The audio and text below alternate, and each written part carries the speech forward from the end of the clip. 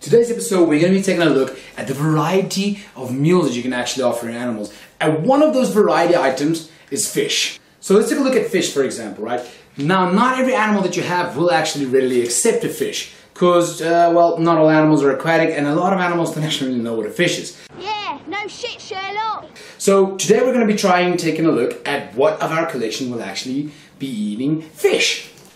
So on the table we have two of our four anacondas ready to see if they're going to take a meal. So all I did was I dethawed the fish, made sure they're appropriate body temperature, and now I'm going to try feeding extremely aquatic species some fish. Alright, so here's the first one's fish. Man, I must say the fish really, really stinks.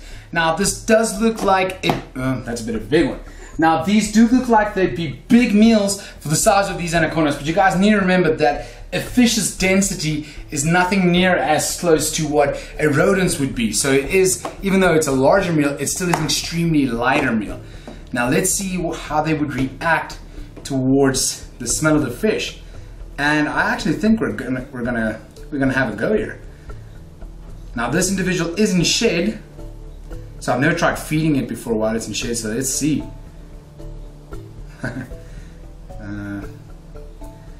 does not seem too keen. Weirded out more likely than anything else. Now don't worry guys, if the animals do not eat the fish, the fish will not be wasted.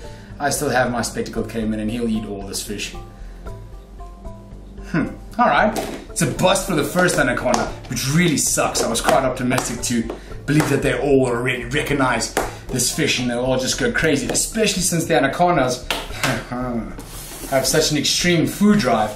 I really thought that they would simply just go for it. Well, let's check this individual that's not in shit. Well, he looks pretty keen. Definitely not the feeding response I was expecting from them. Hmm, they all seem weirded out by this. Whoa! If I just can get him to grab the prey item, I might be able to entice him. Sometimes a little bit of tease feeding can go a long way. We'll see. We might be barking up the wrong tree with these guys. Really? That's a bite. It's also a bite. See if we can tease them a bit and get them to actually bite and hold on to this.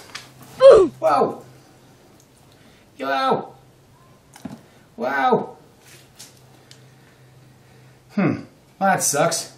I don't seem keen at all. Hmm. Okay. Well, that's a total bust with these two.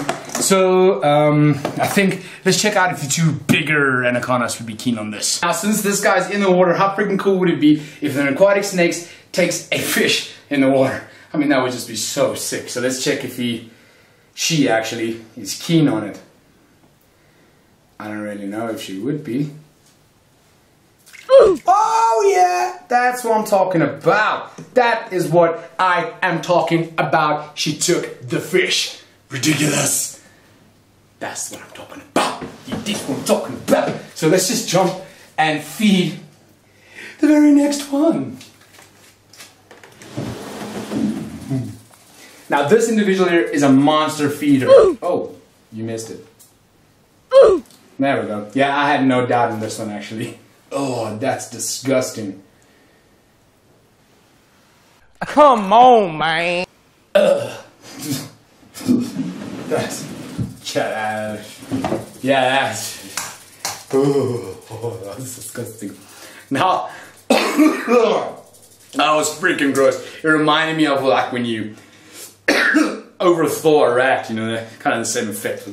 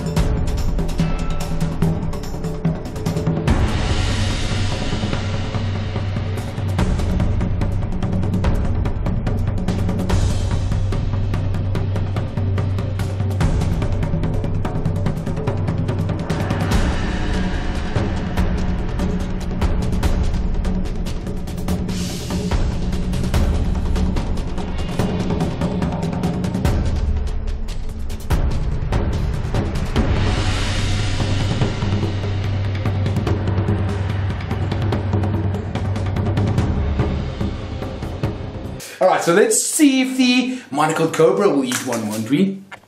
Alright, so here she is. She's already aware that there's something going on. Hi, mommy. Hi, mommy. Let's see, let's see, let's see if you'd like a fishy. Uh, it would be very interesting if she eats one, but cobras in general, they have an extremely big food drive. So let's have a look and see if she'd be keen on it. Uh, she smells it. She doesn't know what the hell it is, and she's coming out. Let's give her another one, I guess, before she comes out and makes a muck. Oh no, there she's got it. Yeah, man, that's it. That's what I'm talking about. That's what I'm talking about. How ridiculously cool is that? I think we'll actually do a little bit of a time lapse for you guys so you guys can observe this extremely strange process.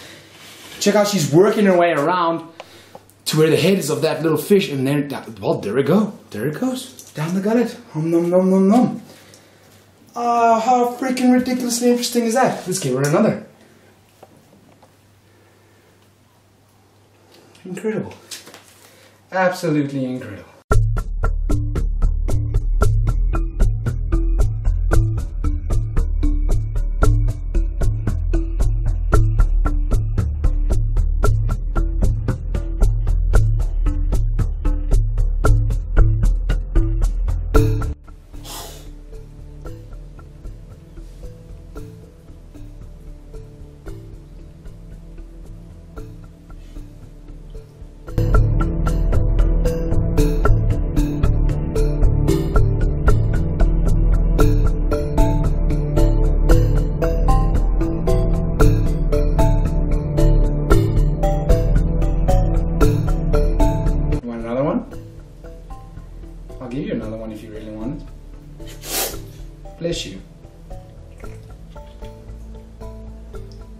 Yeah, you might want to swallow first before you try another one.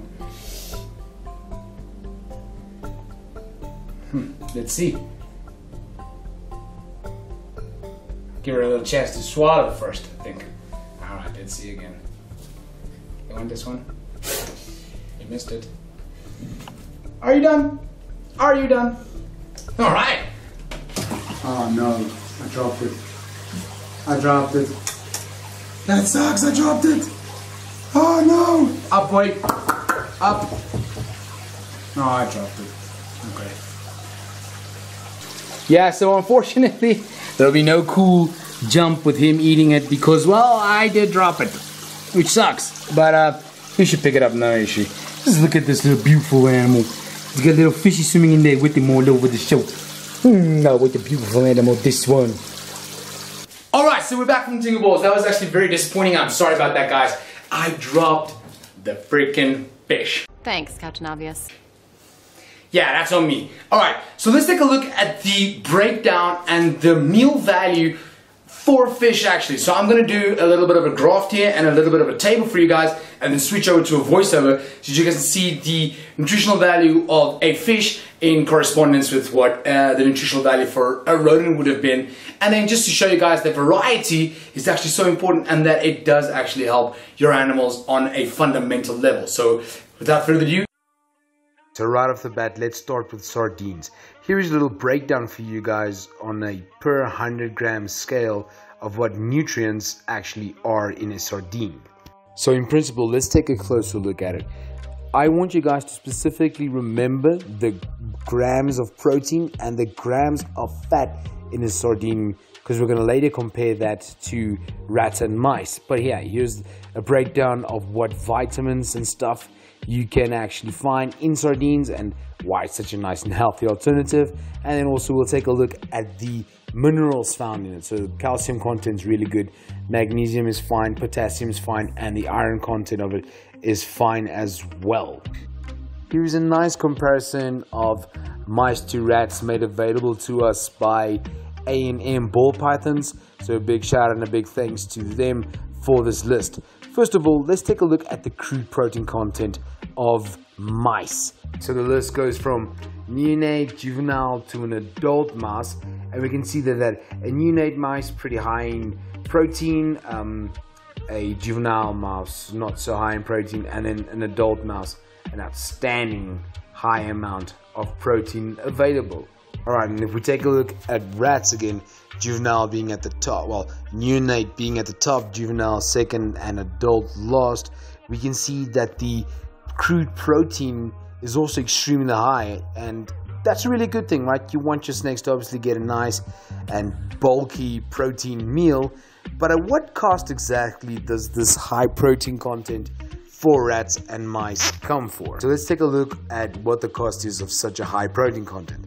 So if you look at the crude fat here for mice, you'll see that basically it's on a 2 to 1 scale. So for every two portions of protein, they'll get one portion of fat. In that whatever portion of protein they get, half of that in percentage they'll basically get in fat as well. So yeah, the crude protein is nice and high, but the amount of fat that they get from that meal is also extremely high. So you need to take that into consideration when varying an animal's diet. So here's that list for you guys one more time.